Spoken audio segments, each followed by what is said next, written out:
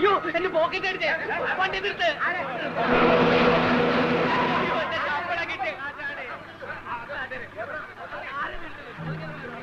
ഈശ്വര അപ്പൊ എന്റെ കയ്യിൽ ബിസ്ക്കറ്റ്? ആരും ബഹളം വയ്ക്കണ്ട. ബസ് പോലീസ് സ്റ്റേഷനിലേക്ക് വിടാം. പോലീസ് സ്റ്റേഷനിൽ പോയി ചെക്ക് ചെയ്യാന്നൊക്കെ പറഞ്ഞ എനിക്ക് ഇന്നലെ ഒരു പി എസ് സി ടെസ്റ്റ് ഉള്ളതാ. സമയമായി. പോലീസിന്റെ ടെസ്റ്റ് കഴിഞ്ഞിട്ട് വേറെ ടെസ്റ്റ് ചെയ്താൽ മതി. ആരെങ്കിലും എന്തെങ്കിലും പോക്കറ്റ് കാണിച്ചതിന് നമ്മൾ എല്ലാവരും കൂടി ശിക്ഷ അനുഭവിക്കണമെന്ന് പറഞ്ഞാൽ സ്ത്രീകളും കുട്ടികളും ഉള്ളതാ. നമുക്ക് എന്നെ തപ്പാം. വാ. വാ വാ. അല്ലാതെ പറഞ്ഞ പോയിട്ട് ഓരോരുത്തർക്ക് ഓരോ കാര്യങ്ങളുള്ളതാ. ആദ്യം സാറിനെ തന്നെ ചെക്ക് ചെയ്യാം. എന്നെന്താ ചെക്ക് ചെയ്യുന്നത്? അതേ കുന്തം കുടത്തിനും തപ്പണമെന്നാ മാറിയുന്നേ മാറിയുന്നേ നിങ്ങൾ ചെക്ക് ചെയ്യുന്നത് പോലീസ്. മാത്രമല്ല മനുഷ്യനെ വിചാരിച്ചാലും കള്ളന്മാരെ കണ്ടുപിടിക്കാൻ പറ്റും. അതുകൊണ്ടാ. പിന്നെ എടുത്തിട്ടില്ല? എന്തിനാ പഠിക്കുന്നത് ഞാൻ ചെക്ക് ഞാൻ പറഞ്ഞു. ധൃതി വെക്കാം, ധൃതി വെക്കാം, ഞാൻ ഞാൻ കാര്യം പറഞ്ഞോട്ടെ ഞാൻ കാര്യം പറഞ്ഞിട്ട്.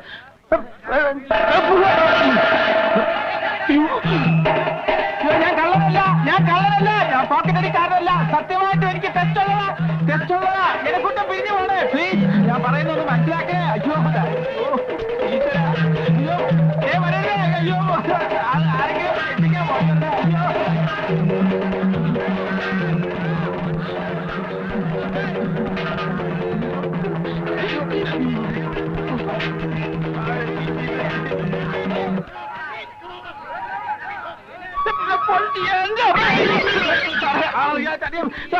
കാര്യം പറഞ്ഞിട്ട് അതെ അയ്യോ. പണം എടുക്കും എടാ നിൽക്കാൻ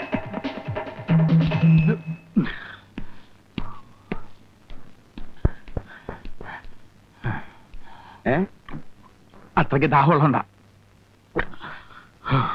ഒരു ചായ രണ്ട് ഗ്ലാസ് വെള്ളം. എനിക്ക് കിട്ടുമ്പോ തിരിച്ചു തരാമേ. കള്ളമായിഞ്ച മോനെ എത്ര നാളാണോ നിന്നെ തെരഞ്ഞെടുക്കുന്നത്? കാശി ഞാൻ പിന്നെ തരാം. എപ്പോ പിന്നെ? എന്റെ അഭിമാനത്തിൽ ഞാൻ പിന്നെ തരാം. ഞാൻ.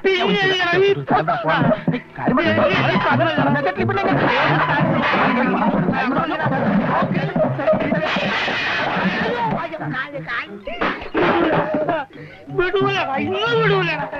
അവിടെ നിന്നേ അവിടെ നിന്ന് എനിക്ക് പൈസ കുറച്ചു തരാം എടാ പൈസ കുറച്ചു അവിടെ നിൽക്കടാ അവിടെ നിൽക്കേ. ഈ നീ എങ്ങോട്ട് പോകാനാടാ നീ ഹെലികോപ്റ്ററിൽ പറക്കാൻ. ഏ? ആടാ നിന്നെ വിടൂലടാ. ഗോപിയേ, ഗോപ്. എടാ,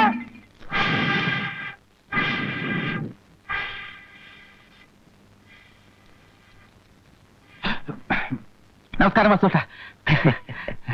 ഗോപിയെ ഇതുവഴി കണ്ടിട്ട് കുറെ ആയല്ലോ.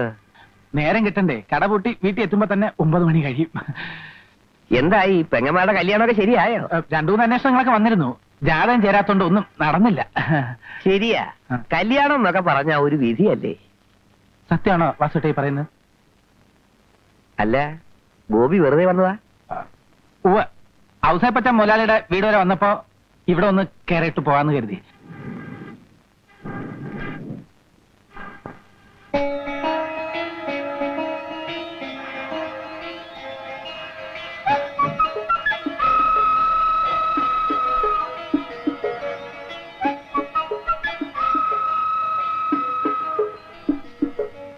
തീയിലിട്ട സ്വർണം കാണാൻ നല്ല ഭംഗിയല്ലേ സാധാരണയായി വാസുട്ടൻ ഇവിടുന്ന് സ്വർണം ഒരുക്കി കൊടുക്കാറുണ്ടോ?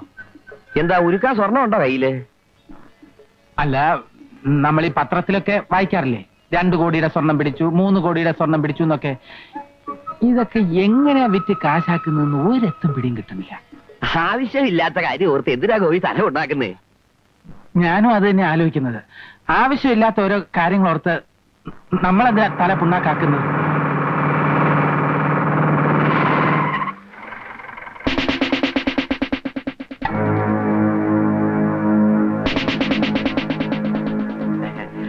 സാർ ഞാൻ വൈകിട്ട് വീട്ടിൽ എത്തിച്ചോളാം എത്ര ദിവസമായി ഒരു അറിഞ്ഞാണുണ്ടാക്കാൻ തന്നിട്ട്?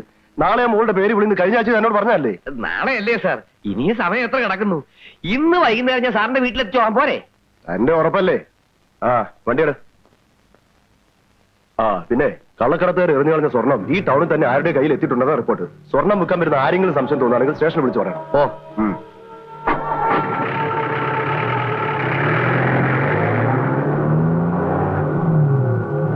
ചെക്കൻ അന്ന് രാത്രിയിൽ താമസിച്ചു വന്നപ്പോ മുതൽ ഞാൻ ശ്രദ്ധിക്കുന്നതാ ഒരു മാറ്റം. മനസ്സിന് പിരിമുറുക്കുണ്ടാവും വിഭ്രാന്തി ഉണ്ടാവും. ഗോവിന്ദേട്ടൻ വസ്തു കൊണ്ടുപോകുന്നുള്ള പേടിയും എല്ലാം ഉണ്ടാവും. നൂറും ഇരുന്നൂറും പവൻ കൊടുത്ത് ഇന്ദുവിനെ കെട്ടിച്ചയക്കുമെന്ന് പറഞ്ഞതായി എനിക്ക് മനസ്സിലാവാത്തെ സ്വബോധം ഇല്ലാണ്ടായ പിന്നെ പറയുന്നതിന് വല്ല അർത്ഥം? മോഹൻ ഇവിടെ വന്നിരുന്നു. നീ കടയിൽ പോയിട്ട് കുറെ ദിവസമായെന്ന് പറഞ്ഞല്ലോ അവൻ. ഞാൻ ആ ജോലി വേണ്ടെന്ന് വെച്ചു. എന്താ കാരണം? കാരണമൊന്നുമില്ല എനിക്ക് തോന്നി. ദിവസവും കിടന്ന് മരിച്ചു പണിതാൽ എന്താ കിട്ടുക എനിക്കല്ലേ അറിയൂ. എന്റെ കുട്ടി ഇന്നത്തെ കാലത്ത് ചെറുതാണെങ്കിലും ഒരു പണി കിട്ടാന്ന് വെച്ചാ? അമ്മാമ പേടിക്കണ്ട. സ്വന്തമായിട്ടൊരു കട ടൗണിൽ തുടങ്ങിയാലെന്ന് ആലോചിക്കാൻ ഞാൻ. അതിനൊക്കെ പൈസ എത്ര ഉണ്ടായാലാ അതൊക്കെ ഉണ്ടാവും. എവിടുന്ന്? ഈ ഉമ്മർത്ത് ഇങ്ങനെ ഇരുന്ന് നാല് നേരം സുഖഭക്ഷണവും കഴിച്ച് ജീവിതം തള്ളി നീക്കിയാൽ അതൊന്നും മനസ്സിലാവില്ല. അതിന് ബുദ്ധി വേണം ബുദ്ധി. ഉള്ള സ്ഥലം വിറ്റ് നിന്ന് ജീവിക്കാൻ ആർക്കും പറ്റും. ഗോപി. ആരും എന്നെ കൊണ്ടൊന്നും പറയിക്കണ്ട. നീ കേട്ടില്ലേ ജാനകി? നാരായണനാര് മരിച്ചപ്പോ വാവിട്ട് കരയുന്ന നാല് കുഞ്ഞുങ്ങളുടെ ഉത്തരവാദിത്വം ഏറ്റെടുത്തവനാ ഞാൻ. എന്നെ പോലും മറന്ന് ഞാൻ അവർക്ക് വേണ്ടി ജീവിച്ചു. ഇപ്പൊ എനിക്ക് കിട്ടി. അതിനുള്ള പ്രതിഫലം. നാരായണേട്ടൻ പറഞ്ഞ അടയാളങ്ങൾ വെച്ച് നോക്കുമ്പോ പ്രതി ഞാൻ വിചാരിച്ച ആൾ തന്നെയാ. അവന്റെ നടപ്പിലും ഭാവത്തിലും ഒക്കെ എന്തോ ഒരു പെശക എനിക്കും തോന്നിയതാ. കഴിഞ്ഞ ആഴ്ചയെ ഓടി വന്ന് അമ്പത് രൂപ ബലമായിട്ട് എന്റെ കയ്യിലോട്ട് തിരികെ വെച്ച് വന്ന് നാരായണോ? ഗോപിയെ പറ്റി നീ പറഞ്ഞൊക്കെ നേരാണോ? പിന്നെ നോണ പറഞ്ഞ് നിങ്ങളെ വിശ്വസിപ്പിക്കേണ്ട വല്ല ആവശ്യം എനിക്കുണ്ടോ മേന്നെ? ആദ്യമൊക്കെ ചെറിയ ലക്ഷണം ഉണ്ടായിരുന്നുള്ളൂ. ഇപ്പൊ ദേഗോദരം തുടങ്ങിയിരിക്കണത്രേ അത്രേ. ഗോവിന്ദൻ നായർ തല്ലാൻ ചെന്നോ എന്തൊക്കെയോ പറയണ കേട്ടു. ഹും, മനുഷ്യന്മാരുടെ ഒരു സ്ഥിതി. ഗോപിക്ക് കൊടുത്ത മുതലും പലിശയൊക്കെ പോയി തന്നെ അല്ലേ മെന്നെ? കാശ് കിട്ടിയില്ലെങ്കിലും വേണ്ടില്ല അവൻ വല്ല ദേവോത്തരം ഏൽപ്പിക്കുന്ന ആൾപ്പെടേണ്ട പേടി. അത് ഉറപ്പാ. അയ്യോ. എന്റെ കാര്യത്തിന് ഒരു കുഴപ്പമില്ല നാരായണേട്ടാ എന്താ മുഖത്തൊരു വല്ലായ്മ? ഒന്നുമില്ല. മനസ്സിലായി. ഈ കടയൊന്ന് ഉഷാറാക്കണമെന്ന് പറഞ്ഞ് നാരായണേട്ടൻ പല പ്രാവശ്യം എന്റെ അടുത്ത് രൂപ കടം ചോദിച്ചിട്ടുണ്ടല്ലേ ഞാൻ തന്നിട്ടില്ല. എന്നാ വിഷമിക്കണ്ട. ചോദിക്കാതെ തന്നെ ഞാൻ നാരായണേട്ടന് കുറച്ച് രൂപ തരാൻ പോവുക. എനിക്ക് കുറച്ച് ദിവസത്തെ സാവകാശം തരണം. അയ്യോ വേണ്ട ഗോപി. എനിക്ക് പണത്തിന്റെ ആവശ്യം എന്നൊന്നും പറഞ്ഞാൽ പറ്റില്ല. ഞാൻ രൂപ തരും. ഗോപിക്ക് എന്തെങ്കിലും കുടിക്കാൻ? കുടിക്കാൻ എനിക്ക്? പാൽ തന്നെ ആയിക്കോട്ടെ. പണിക്കരേട്ടനോ ഞാൻ ഈ വടയുടെ വില നിലവാരമൊക്കെ നോക്കുവായിരുന്നു. പറഞ്ഞൊന്നും ഞാൻ മറന്നിട്ടില്ല. പട്ടണം. ഹൃദയം.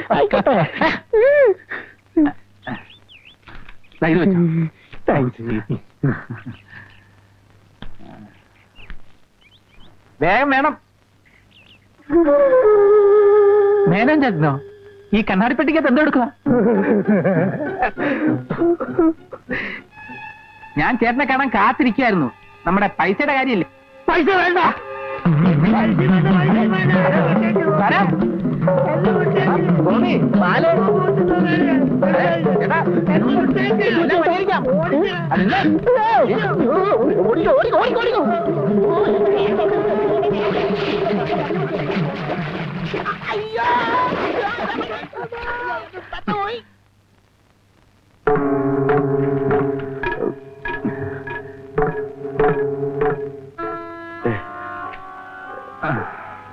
ഗോപി രണ്ടാഴ്ചത്തെ ലീവ് എന്ന് പറഞ്ഞ് പോയിട്ട് പിന്നെ കണ്ടേയില്ലേ. കുറച്ച് തിരക്കിലായിപ്പോയി അവസരപ്പച്ച പിന്നെ ഈ ജോലി അങ്ങ് വിടാനുള്ള തീരുമാനത്തിലാ ഞാൻ.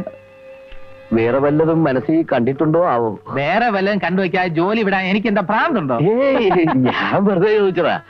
ചായയോ കാപ്പിയോ? ഒന്നും വേണ്ട. ഞാനേ ആ അബൂബക്കറിന്റെ ഹോട്ടലിന് വില പറയാൻ വേണ്ടി ഇവിടം വരെ വന്നതാ. ആ, മിക്കവാറും കച്ചവടം ഉറപ്പിക്കും. ഒരു തെറ്റുമില്ല പക്ഷേ ആ ഹോട്ടലിനെ ഒരു തുണിക്കടയാക്കി മാറ്റാനാ എന്റെ പ്ലാൻ. എന്താ അവസരപ്പച്ചന്റെ അഭിപ്രായം? ഓ, വളരെ നല്ല അഭിപ്രായം ആ, മോനേട്ടാ പറഞ്ഞൊക്കെ ഓർമ്മയുണ്ടല്ലോ. മാറ്റം ഉണ്ടാവരുത്.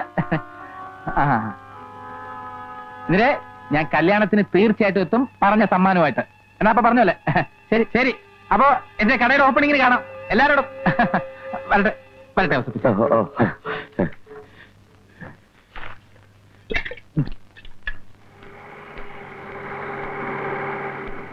ഗോപി ഗോപി.